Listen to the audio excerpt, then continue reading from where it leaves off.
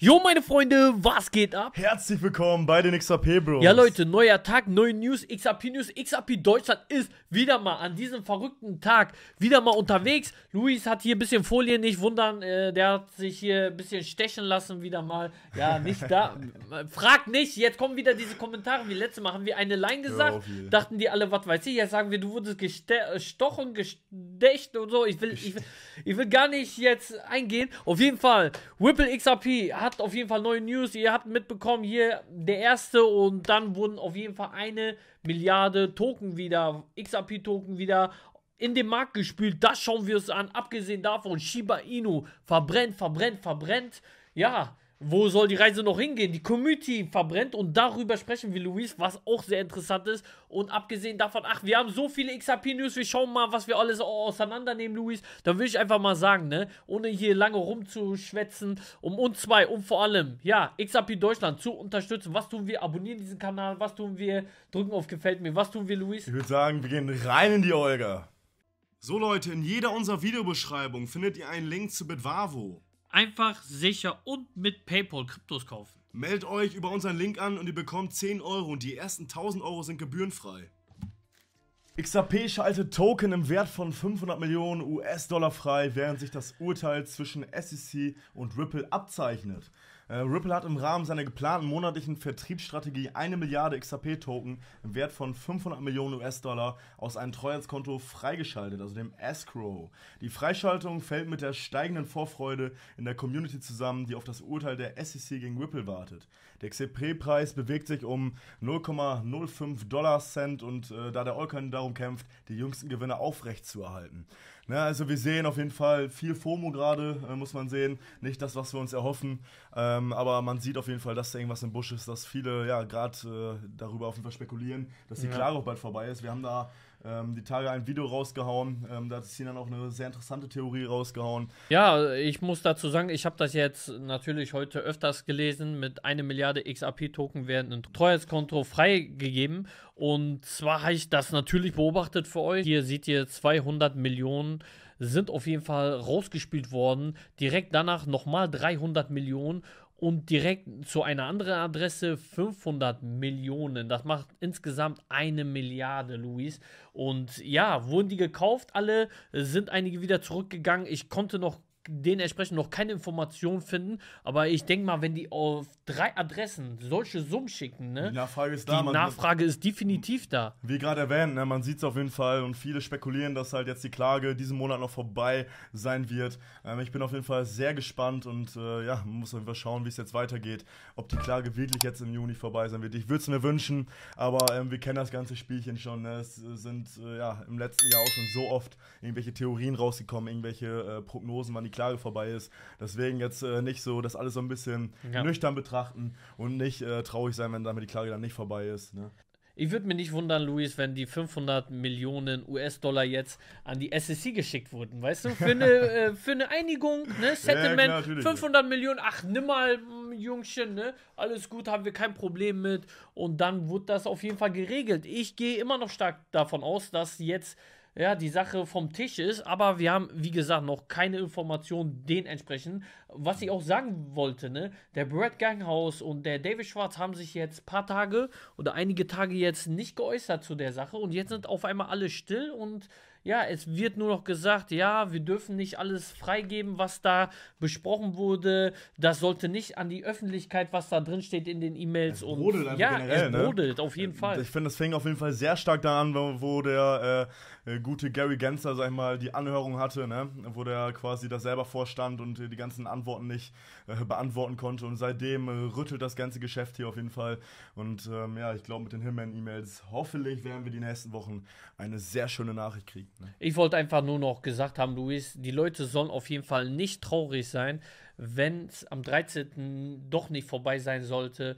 Wir wissen nicht, wann es veröffentlicht wird. Wir wissen nicht, wenn es, ja, wenn die Unterschrift unter den Papieren ist und erst dann, denke ich mal, wird alles veröffentlicht und wir werden auf jeden Fall sehen, was dann auf dem Markt los ist. Wir werden definitiv ne? die Letzten sein, Leute, ne? Ihr werdet aber nicht die Letzten sein, weil XRP Deutschland direkt ein Video äh, Da wird hier die freischaltet. Konfettikanone und so. dir, da, da wird was kommen. Da könnt ihr euch da was gefasst machen auf jeden Fall. Ja, und dann haben wir auch diese News gesehen und wir wissen, viele von euch sind in Shiba Inu investiert. Kann jeder halten, was der will, aber Shiba Inu hat eine heftige Community. Und diese Community verbrennt und verbrennt und verbrennt. Wir haben schon öfters darüber berichtet und die verbrennen wie verrückt ihre Token, ne? Und jetzt schon wieder, jetzt wurde schon wieder einiges verbrannt und ich weiß gar nicht, warum die verbrennen, aber ihr Ziel ist es, alle zu verbrennen und einfach den Preis in die Höhe zu das ist halt schießen. das Ziel, ne? Und äh, ja. ist geil, warum nicht, ne? Finde ich auf jeden Fall gut von der Community. So eine Community braucht man, Luis. Auf jeden Fall. Also Community-Arbeit ist einfach das Wichtigste im ganzen Kryptoraum. Wir erwähnen es immer wieder. Ähm, ohne eine starke Community wird kein Projekt, sag ich mal, ja, stark nach vorne preschen. Außer natürlich irgendwann durch Anwendungen und Partner. Aber jetzt aktuell zu der Marktphase ist Community einfach wichtig. Und deswegen, äh, wir besprechen ja gerade so kleine äh, Meme-Coins, äh, Shitcoins, auch oft auf unserem äh, Zweitkanal. Und also für Leute, die sich dafür interessieren, können auf jeden Fall einmal bei Sinan und Luis Krypto einmal rüber äh, schauen. Links sind auf jeden Fall alle unten in der Beschreibung. Und ähm, genau dafür, für gerade diese Fälle. Ne? Ja, die Community Blaze Token hat äh, 3,6 Milliarden Shiba Token verbrannt im Wert von 31.000 Dollar. Haben die einfach mal verbrannt und sagen, es geht weiter. Und ich habe hier natürlich mir alles äh, vorher schon durchgelesen gehabt und äh, es wurden bis jetzt knapp 11,5 Milliarden Shibas verbrannt und ähm, ja, im Wert Ja, von dran, 100.000 ne? US-Dollar, ne? Und es soll weitergehen, Leute. Es soll immer weitergehen. Und wenn man sich das genau anschaut, äh, auch Börsen, ne? Hier, äh, wo ist da nochmal Coinbase? Und weitere ähm, Börsen haben bis jetzt immer schon Shiba Inus verbrannt und es sollen noch mehr Leute kommen und noch mehr Leute verbrennen. Und wohin die Reise geht von Shiba, werden wir auf jeden Fall sehen. Aber die Community ist sehr stark und ist auf jeden Fall, ja, bis jetzt noch ein Token. Man sagt, ähm, einige sagen, ja, dahinter steckt Anwendung, weil ja einige Restaurants in äh, Asien kannst du ja schon damit bezahlen. Einige sagen, nee, das ist Erzählen. jetzt, da gibt es doch keine äh, Anwendung dahinter. Ähm, Shiba Inu, aber Luis muss ich definitiv sagen, die entwickeln sich langsam dahin von Nicht-Anwendung zu Anwendung, ne? Und wenn das kommt und es sind schon so viel verbrannt und es werden noch mehr verbrannt, ja, dann Prost Mahlzeit, ne? Halte ich auf jeden Fall für korrekt.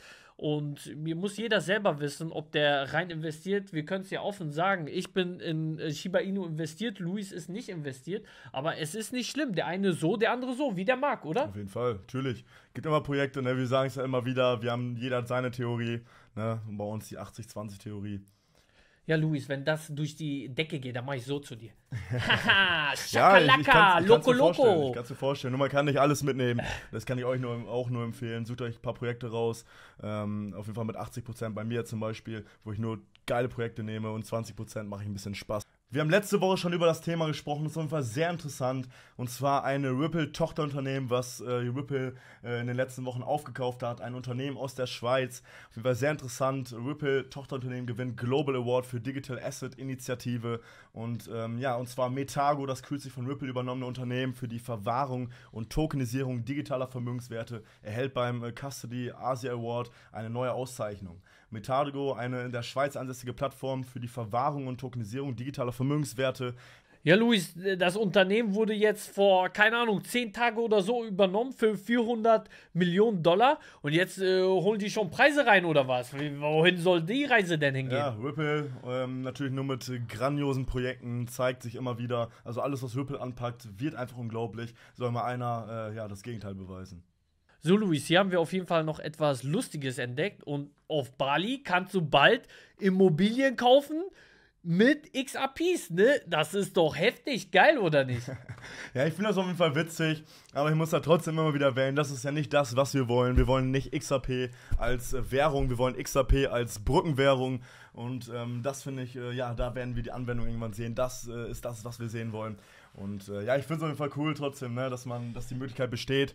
Aber Leute, ne, wir freuen uns auf was ganz anderes. Ja, Luis, der eine oder andere möchte halt auf die Insel und möchte mit seinen XRPs seine Insel kaufen, sein Grundstück kaufen. Und das ist schon mal eine geile äh, Sache, ne? Ich denke mal, das haben die jetzt extra gemacht, extra für uns. Die wissen ne? genau, dass die XRP ja, die gut wissen ist, ne? ganz die genau. Wissen genau, was los ist hier. Ja, Junge, dann läuft das auch. Dann läuft der Ja. Schinken auf Ab jeden nach Fall. Bali, Leute, auf geht's.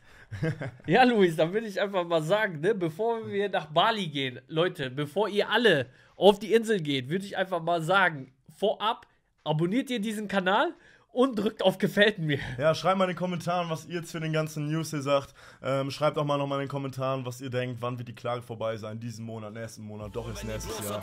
Haut's mal einfach in die Kommentare. Werd auch du ein Teil unserer Instagram, Telegram, TikTok-Seite. In diesem Sinne, Leute, Haut rein, Leute. haut rein. Und wie es weitergeht, das erfährst du täglich hier. Wir sind die Krypto-Jünger und das ein Leben lang. Die XRP-Armee wird kämpfen bis zum Untergang, bis dass die letzte Wallet ihren letzten Coin verbrennt und unser Kurs sich wie Phönix von der Asche trennt.